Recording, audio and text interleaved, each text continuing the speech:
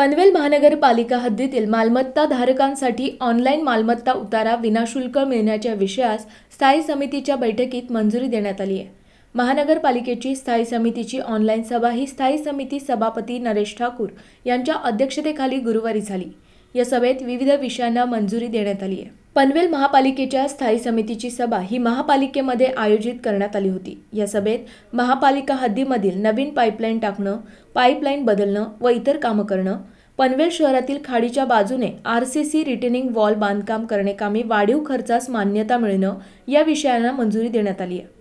तसेच Covid nineteen या साथीच्या रोगाच्या अनुषंगानं राबवण्यात येत असलेल्या प्रतिबंधात्मक उपाययोजनांकरिता बाह्य स्रोतांकडून कंत्राटी तत्वावर मनुष्यबळ उपलब्ध करून घेणं कळंबोली येथील बहात्तर खाटांच्या कोविड समर्पित केंद्र कोविड नाईन्टीनसाठी अत्यावश्यक वेळी आवश्यक असणाऱ्या औषधी साहित्य खरेदीस मंजुरी तसंच इम्युनायझेशन सिरिंज खरेदी करणं R T P C R lab उभारण्याकरिता यंत्रसामुग्री उपकरणं खरेदी करणं या विषयांना मंजुरी देण्यात आली आहे. पनवेल महानगरपालिका क्षेत्रातील निर्माण होणाऱ्या घनकचऱ्याची बाह्य यंत्रणेद्वारे सशुल्क कचरा उचलून विल्हेवाट लावणं तसेच सार्वजनिक शौचालय मुताऱ्या स्वच्छतागृहांची अत्याधुनिक तंत्रांचा वापर करून यांत्रिक पद्धतीनं निर्जंतुकीकरण व दुर्गंधीनाशक रसायनांची दैनंदिन फवारणी करून दिवसातून दोन वेळा साफसफाई करण्याचा विषय स्थायी समितीनं स्थगित ठेवला आहे या महासभेत सभागृहनेते परेश ठाकूर नगरसेवक निलेश बाविस्कर उपायुक्त विठ्ठल डाके उपायुक्त सचिन पवार उपायुक्त गणेश शेट्टे उपायुक्त कैलास गावडे कार्यकारी अभियंता संजय कटेकर सहाय्यक आयुक्त डॉक्टर वैभव विधाते सहाय्यक आयुक्त सुवर्णा दखणे मुख्य वैद्यकीय अधिकारी डॉक्टर गोसावी मुख्य लेखाधिकारी मंगेश गावडे लेखाधिकारी डॉक्टर संग्राम वोरकाटे तसंच सचिव तिलकराज खापर्डे उपस्थित होते. आज स्थायी समितीच्या मिटिंगमध्ये पनवेल महानगरपालिका क्षेत्रातील निर्माण होणाऱ्या घनकचऱ्याची बाह्य यंत्रणेद्वारे सुशुल्क कचरा उचलून विल्हेवाट लावण्यावरचा आज पटलावर विषय घेतला होता. हा विषय घेत असताना दोन हजार सोळापासूनचा राज्य शासनाचा जो धोरण आहे त्या धोरणानुसार आपल्या प्रत्येक जे शंभर किलोपेक्षा जास्त वजनाच्या ज्या सोसायट्या आहेत त्या सोसायटीनेच आपल्या स्वतःच्याच इथे कचऱ्याचं विल्हेवाट लावण्याचा असा नियम आहे. मात्र आज आपण बघितलं तर या पनवेलमध्ये प्रशासनाने अभ्यास केल्यावर असे निदर्शनास आले की तीनशे साठ निवासी संस्था आणि सातशे पंच्याण्णव व्यावसायिक संस्था आहेत. आणि त्याच्यापैकी तेराच अशा संस्था आहेत की त्या तेरा संस्था स्वतःची घनकचऱ्याची प्रक्रिया पूर्णपणे ते पार करत आहेत. परंतु आज हा विषय आमच्या पटलावर आल्यानंतर सर्व सन्माननीय सदस्यांनी या विषयावर चर्चा केली.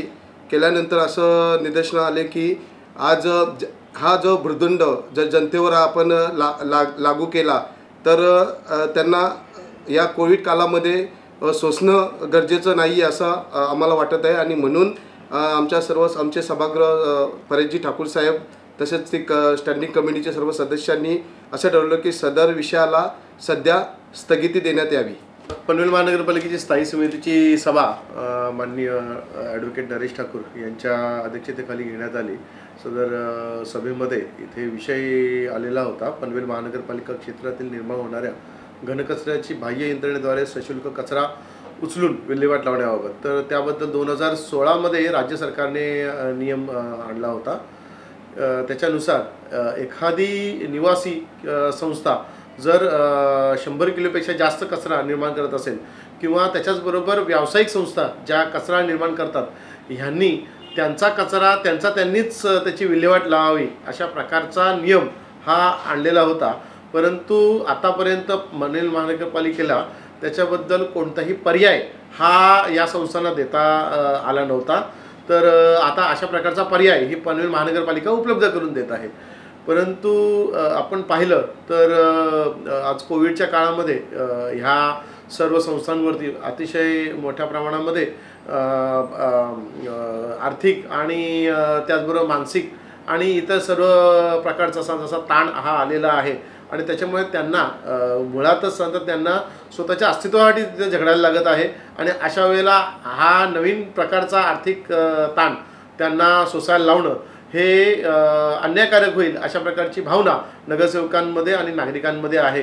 तरी आम्ही हा विषय स्थगित केलेला आहे आणि लवकरच आम्ही या विषयावरती आम्ही पक्षश्रेष्ठी यांच्यासोबत आम्ही चर्चा करून त्याचबरोबर प्रशासनाच्यावर चर्चा करून या इथे नागरिकांना दिलासाकारक अशा प्रकारचे निर्णय आम्ही लवकरात लवकर घेऊ.